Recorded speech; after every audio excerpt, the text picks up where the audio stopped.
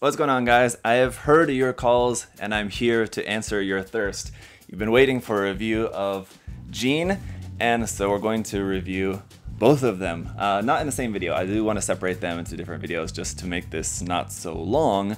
Uh, but we're gonna start with uh, the Stellainnocent version here, which is the one that came out first, and then just recently the Stella Tears version also came out. So we'll take a look at that second. Let's just take a look at the original one first, and then in the next video we'll take a look at the Stella Tears version, which is uh, probably a version you'll also be quite interested in, I suppose.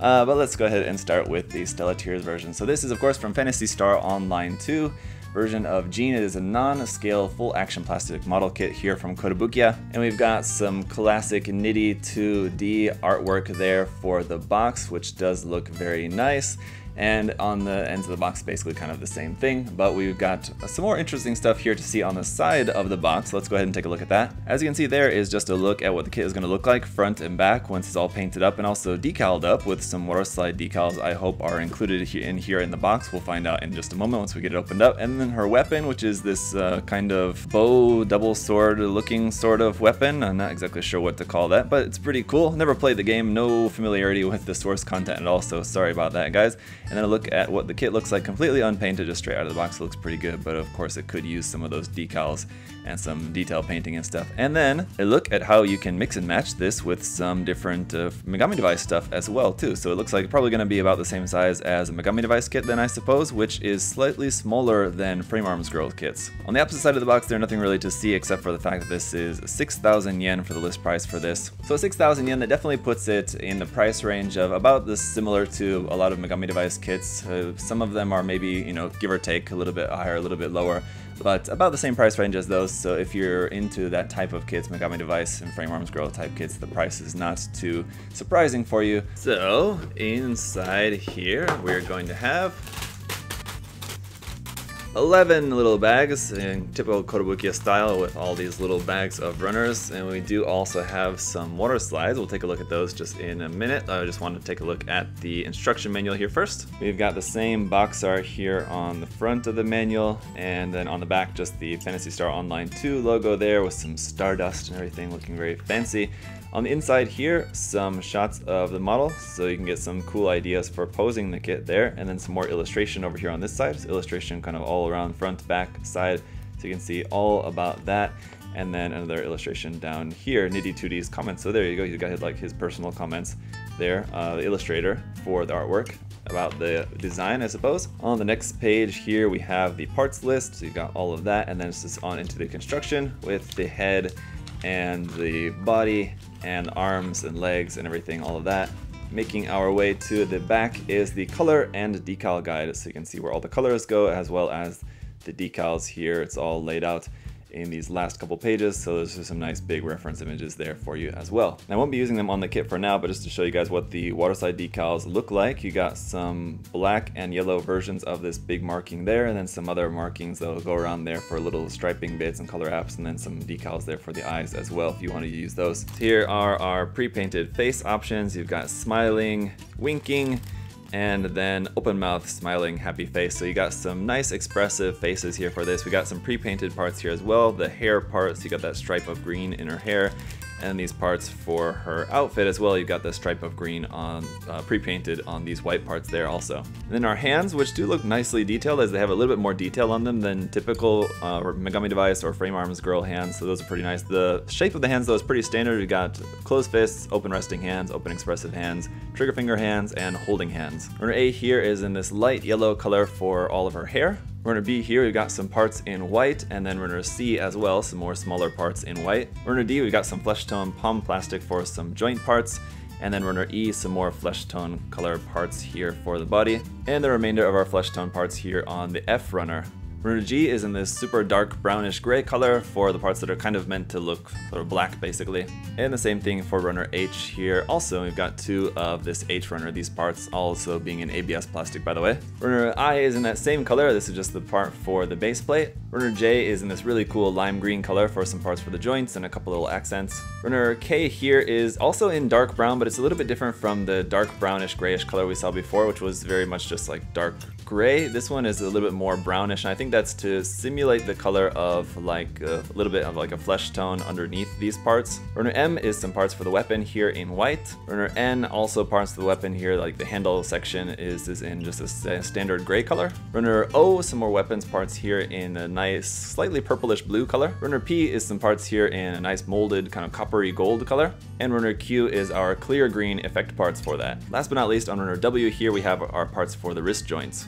So it should be pretty nice when it all comes together. I'm looking forward to seeing how this compares to like a standard Megami device kind of kit. Uh, well, I guess we'll find out here in just a minute. Alright, so here she is all built up and standing, but I gotta say a little bit tricky to get her to stand up because she's a little bit top heavy on top of some very tiny little high heels down there. So uh, you're definitely probably going to want to use the included stand, but that's included and it's going to be much better for doing any sort of posing or anything like that anyway, so most of the time you're probably not going to be using her without the stand, I would say, but it was a really fun kit to build because of course it's very similar to other different Kotobukiya, Megami Device, and Frame Arms type kits, but different enough that it didn't feel like just building kind of the usual kit.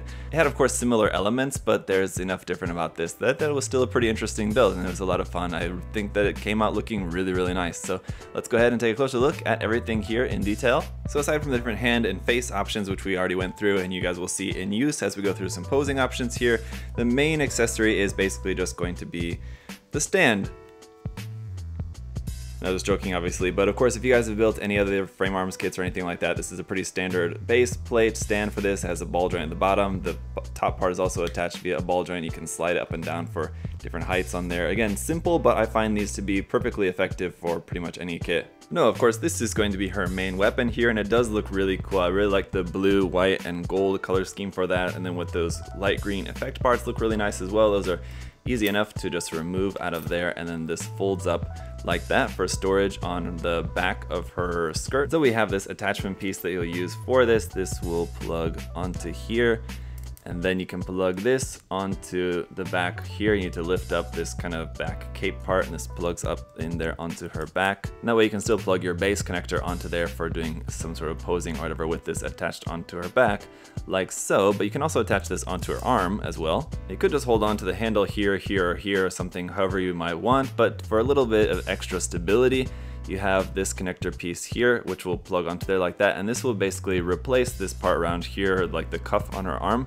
You'll replace that and then that way you're holding onto this. Sorry, other way around. Let me just demonstrate this. So you put your hand onto the handle there like that. Plug on our hand and our new adapter piece, get that all plugged in there. So then that is a nice and secure connection there for holding that and you don't have any weight issues at all either it would seem. This part here on the back of the elbow just went flying but that's okay, it's just kind of stuck on there. Let's try this with the arm fully just extended out like that and feels pretty solid. Not really gonna have any weight issues with that at all. So I think that's pretty good. I mean, like I said, that's kind of it for your accessories. This other little part here just popped out.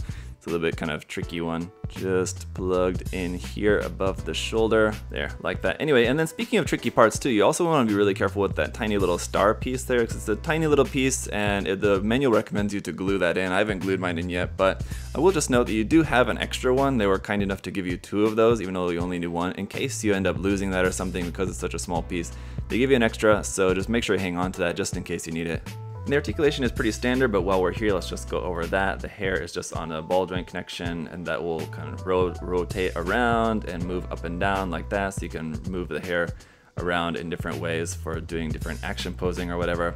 The head is just on a ball joint at the base where that plugs into the neck, and then it's on a hinge at the base where that plugs into the body.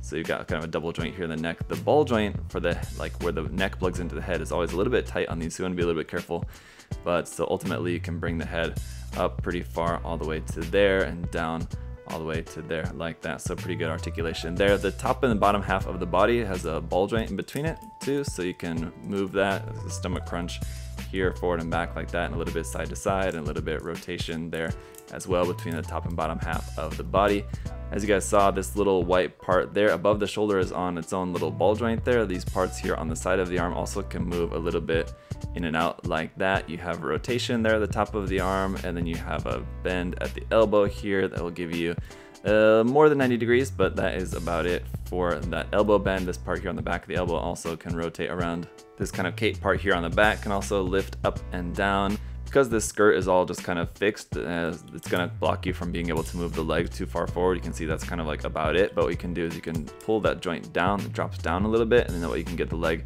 a little bit farther forward, still not really all that much, so you can also uh, rotate the leg there in the middle of the thigh, you can bend the knee with a nice full double joint there. This part also moves a little bit, but that full joint there at the knee with the green joints is pretty cool. I like that. This part here on the front of the ankle is attached via a small little ball joint, so you can kind of move that around a little bit, but move around too much and it's just gonna come off. So it's just kind of meant to be, it's kind of stuck on there. Feet will also rotate a little bit side to side a little bit like that. And again, there goes that piece popping off there. So just be a little bit careful with that. And then forward to about there, back to about there. So just a pretty standard joint type for this. And there you go, up on the underside of the feet. So pretty simple as far as the articulation goes, pretty standard for any sort of like Megami device frame arms girl kits. I feel it's probably not quite as good just because of the design of this and the limitations that I didn't talk about really, really the shoulder much. I guess the arm can go up to about there, about 90 degrees. It doesn't have the same kind of joint where you can move the shoulder forward like Megami Device kits have, so it's basically just a ball joint there, so you can move it around a little bit, but not really a whole lot. So yeah, anyway, the articulation is pretty standard. It's not quite as nice as uh, some of the other Megami Device kits and things like that, but and for just for a quick size comparison, here she is with your standard Megami device kit and a standard HG kit, their 144 scale Gundam kit, so you can get a good size idea for this.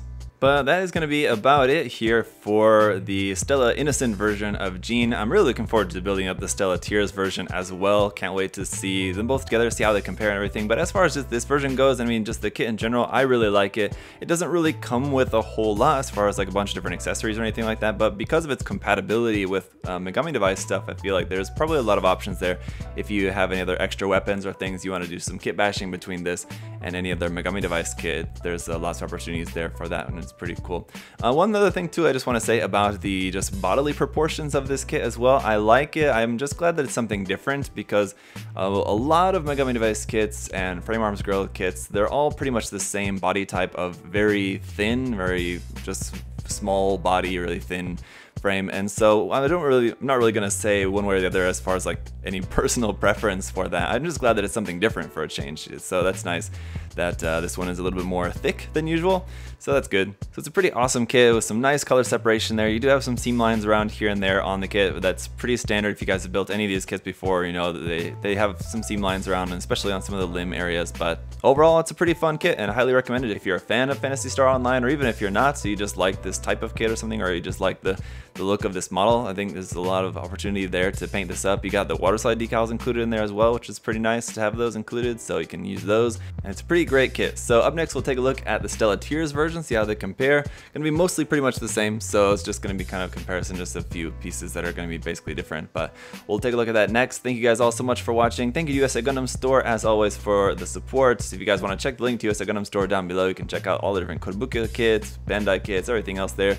You can save 10% off everything there on the site using my coupon code, ZakuAurelius10, so check that out. And thank you guys for all your support too, whether it be commenting, subscribing, liking the video, all that. It's greatly appreciated. I'll see you guys next time. Bye bye.